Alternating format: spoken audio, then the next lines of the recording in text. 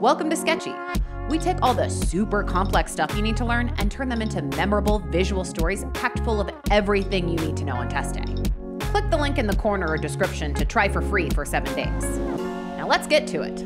Let's start off by drawing the scene's background and talking about some general characteristics of Mycobacterium tuberculosis. First of all, you should know that TB stains acid fast. This means that it takes up carbofuchsin stain.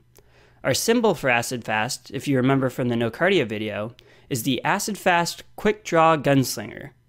Recall, however, that Nocardia is only partially acid fast, but TB is the real deal. So let's draw our acid fast gunslinger over here behind this cart.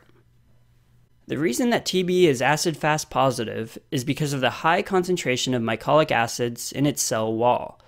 These waxy fatty acids take up the dye and trap it, and prevent it from being washed out during the rinsing phase.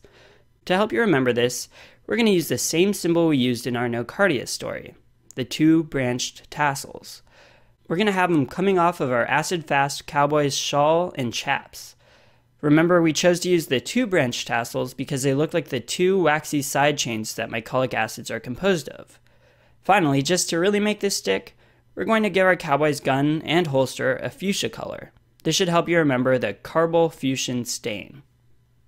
TB cultures very slowly, requiring anywhere from 2 to up to 6 weeks for growth.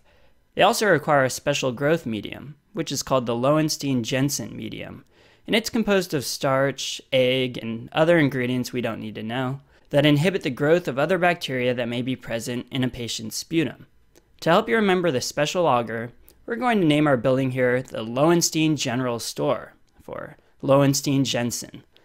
I think it really does sound like an old Western store.